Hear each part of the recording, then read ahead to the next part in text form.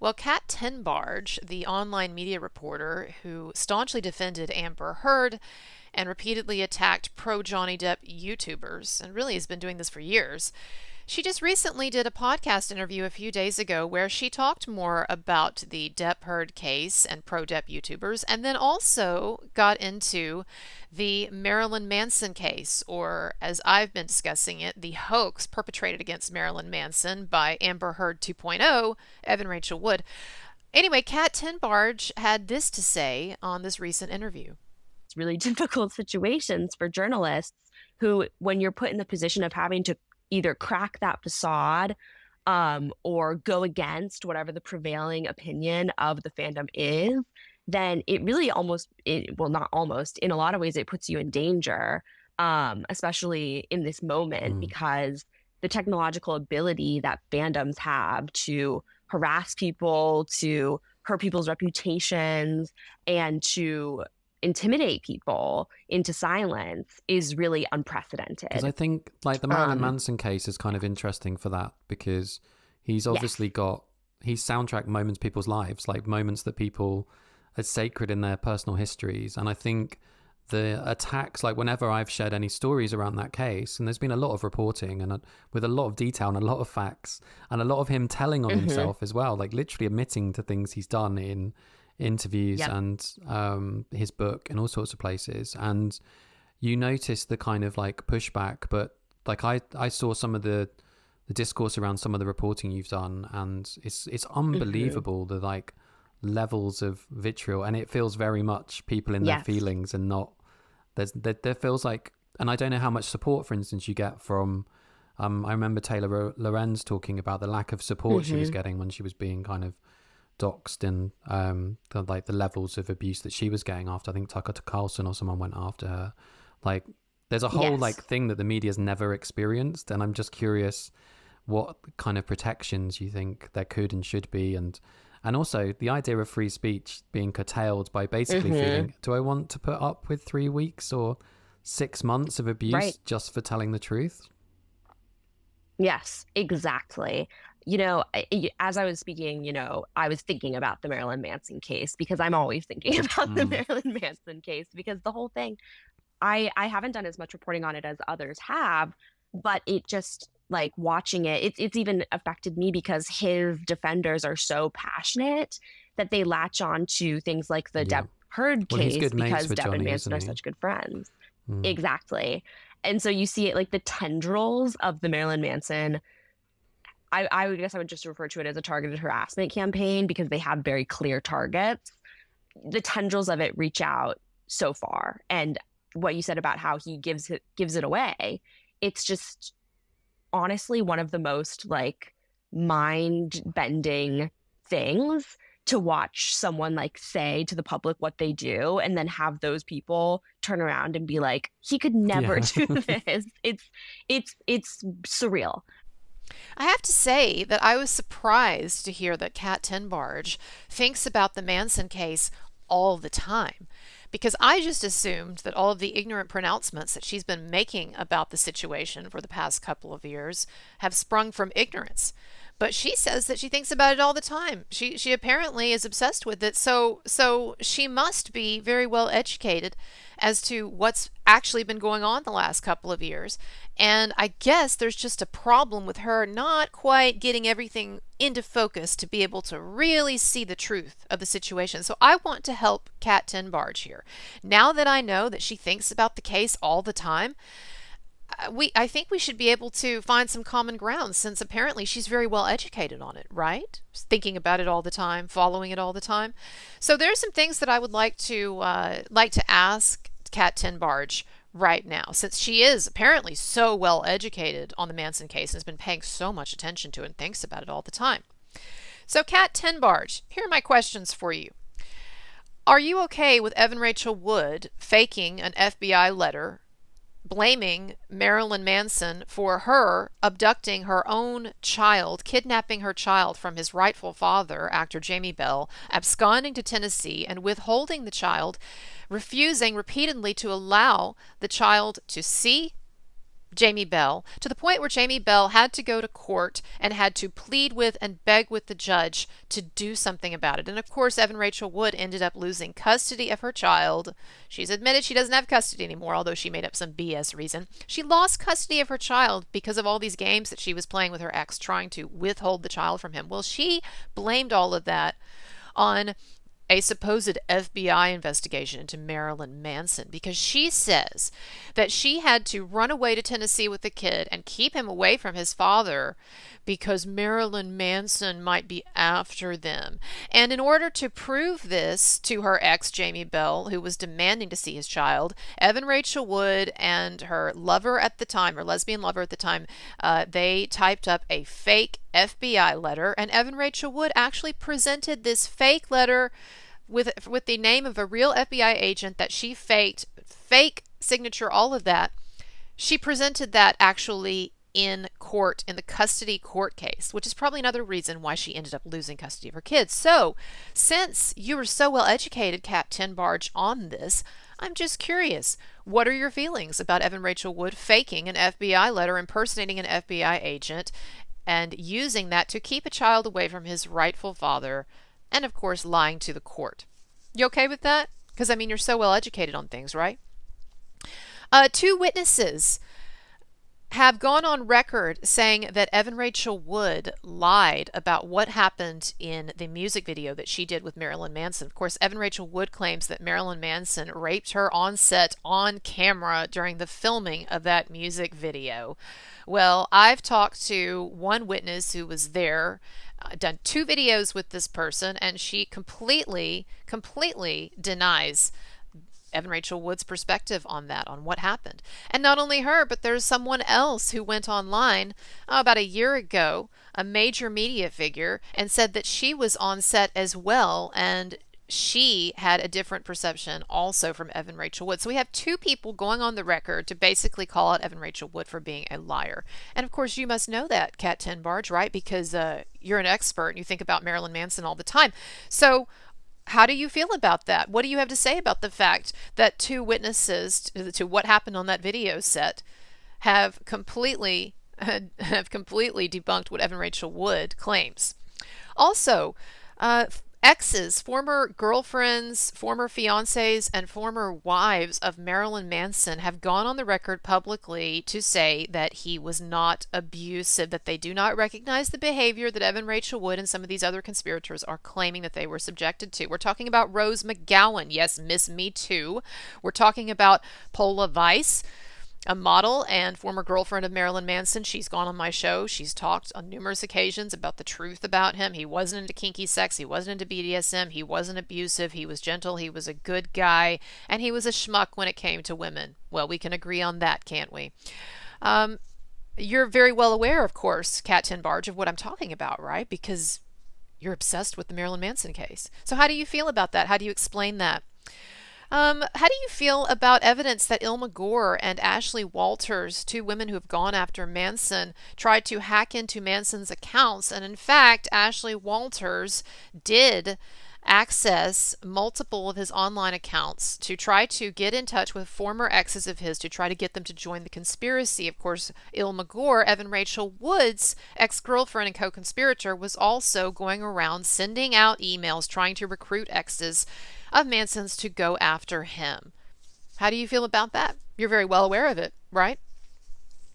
How do you feel um, about the fact that the book that you keep citing about Marilyn Manson, his supposed autobiography, which you say has all of these stories in it that show what a bad guy he is. How do you feel about the fact that, that book has been debunked by multiple people who were discussed in the book, who have come out and said, nah, the stories in there didn't happen. These are fabrications just to help sell books, just to create a sense of, of, of titillating interest in in the public so they would buy this book. How do you feel about the fact that multiple people, including Trent Reznor, have come out and said that it's BS? How do you feel about the fact that the book itself offers a disclaimer if you actually read it, which clearly says that the book is fiction and is not truth? Did you read the book? I mean, you're an expert, right? So you saw that part, that disclaimer where it said that it's fiction, and you're aware that the book has been debunked by numerous people who were mentioned in it. You're aware of that, right? So, how do you explain it?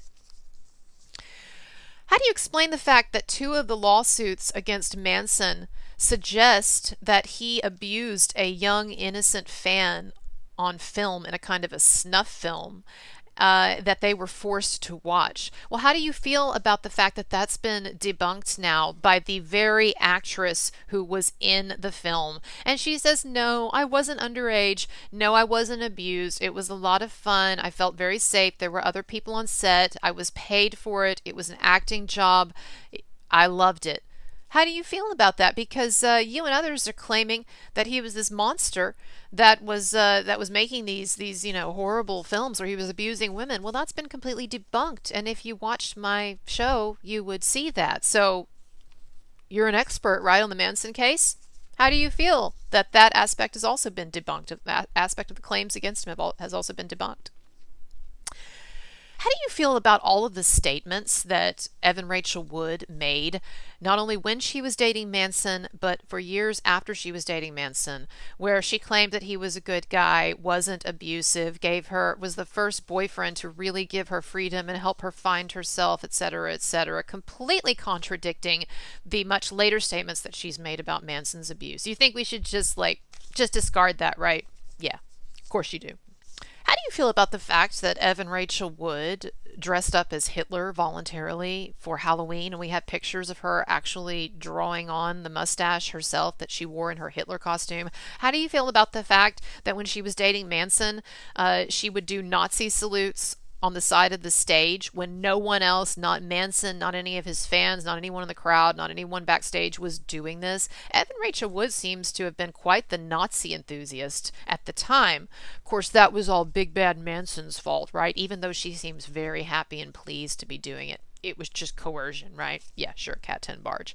Also, Kat Tenbarge, why are you so determined to believe that Ashley Morgan Smithline the previous Manson accuser who flipped and declared in a legal sworn declaration that Manson did not abuse her and that she was coerced by Evan Rachel Wood and Esme Bianco into making up false claims against him.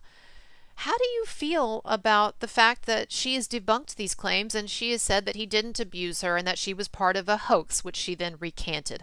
I know that you think that she did that just because I bullied her into it with my YouTube videos, but uh, you know what?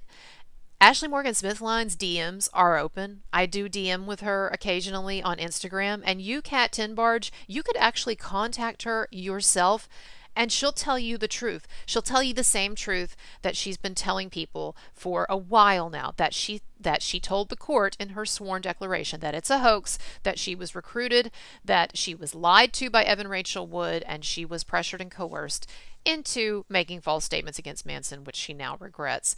I know you think it's all my fault, but you know what?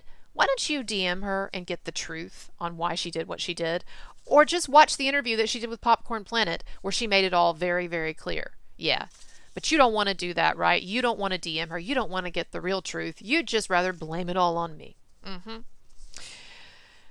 Why is it, do you think, that the Los Angeles District Attorney's Office and the LA Sheriff's Department looked through all of Manson's electronic devices his computer, his hard drives, his phones, his iPad, everything he's got. They have in, done a full inventory of it. They did this a long time ago, what, like over a year ago?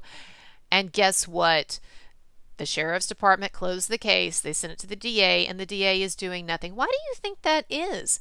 I mean, our entire lives, as you know, Kat Tenbarge, because you're a tech reporter, our entire lives are documented now in our computers and our iPhones. And, like, basically, if you know what's in my computer, if you know what's on my hard drive, if you know what's in my iPhone, then you know me better than the people around me. Well, the LADA and the LA police have seen all of that stuff from Manson because we know that they confiscated it all and they looked through all of it and they did a full inventory and they've just been sitting on things for what over a year almost 2 years now they're just letting this predator run around freely while they know meantime while they know after looking at his stuff that he's a horrible, dangerous predator, and they're just sitting on it. You really think that makes sense, Kat Tenbarge? Or could there be another reason for that?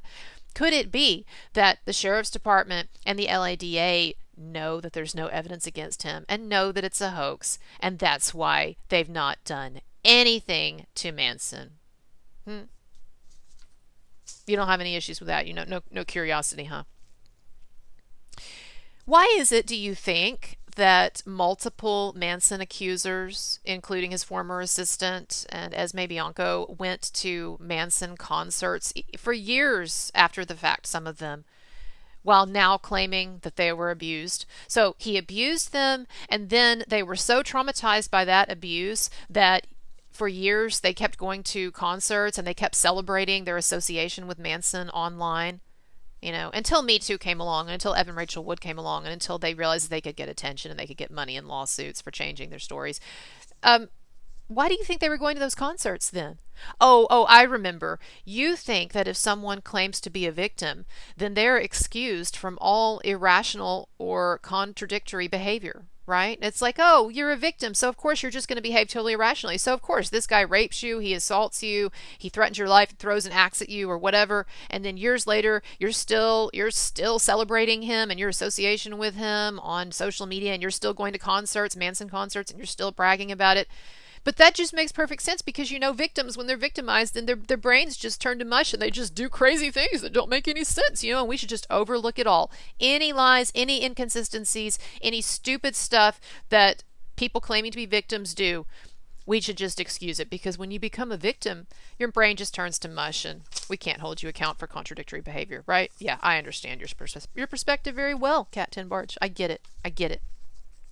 Why Kat Tenbarge did Manson accuser Bianca Kine, who also goes by Bianca Elaine, that's her stage name for her failed movie career, why do you think it is that she completely changed her story when she filed the lawsuit against Manson? Because in 2021, as you must know, Kat Tenbarge, because you're such an expert, in 2021, she did a podcast where she claims that nothing happened to her when she was underage except Manson gave her a one second kiss on the lips after she was flirting with him and touching his hair and stuff backstage. She claimed that in 2021, said she got a one second kiss when she, as a, as a teenager, what, 16 years old, she went to a Manson concert and she got a one second kiss that was her claim. But then, guess what? When she figured out that she could cash in and make big bucks filing a lawsuit, suddenly in the lawsuit, she's claiming that he actually sexually assaulted her in multiple ways, in multiple serious ways, when she was a teenager why did she not mention those explicit sexual assaults in the hour and a half interview, podcast interview that she did in 2021, which, by the way, you can find on my channel? But of course, you've already heard that, right? Because uh, you're an expert on this case. Why is it, Kat Tenbarge, that multiple former assistants to Marilyn Manson, I've interviewed several of them, three of them on my channel now, who some of these, two of these people lived with him actually. One of them was really good friends with him and really good friends with Evan Rachel Wood. Why is it that all three of them have said that Manson was not abusive, that they did not see any abuse, that he did not abuse Evan Rachel Wood. And why have two of them said that Evan Rachel Wood seemed kind of crazy? Also, why did one of them say that Evan Rachel Wood told him that sex with Manson was really sweet and vanilla and he wasn't into BDSM? When now, of course, Evan Rachel Wood is claiming that he was into all kinds of kinky sex that he forced on her. Why the inconsistency there? Why are three former assistants of Manson saying that he's innocent and that he didn't do these things. And also, why does uh, Dan Cleary, former assistant of Manson, why did he say that he actually never saw Evan Rachel Wood being abused? He actually never saw anything, and yet you and others tout him as this great supporter of Evan Rachel Wood. Why? Because he came out on Twitter and he said, I support Evan Rachel Wood, even though, yeah, oh, sorry, I didn't actually see anything. It's just she had like this dark aura on her face, you know, when I saw her sometimes, and so, yeah, he must have abused her. That that doesn't bother you. That makes perfect sense to you, huh? Yeah. Why is it that Evan's story has changed over the years? Why is it that when she finally did that documentary, that HBO documentary, suddenly she's throwing in all of this extra stuff that we had never heard before? Like, oh, he was feeding her meth in her food. Feeding her meth in her food, huh? Yeah, that's kind of like Esme Bianco, who said that he was feeding her coke to calm her down because everyone knows that cocaine is a tranquilizer, right? I mean, I know I do coke all the time when I need to go to bed. Why did Esme Bianco decide to date Marilyn Manson after she claims that uh, in one of their early encounters as friends.